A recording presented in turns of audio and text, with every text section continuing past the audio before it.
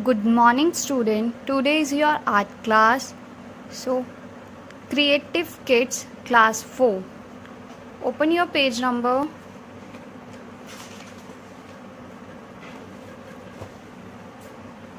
Four fruits.